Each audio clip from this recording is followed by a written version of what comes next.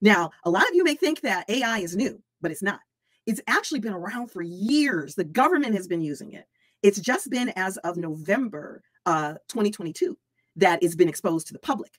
And so now there are so many companies that are adding AI onto their platforms and making it available to um, entrepreneurs.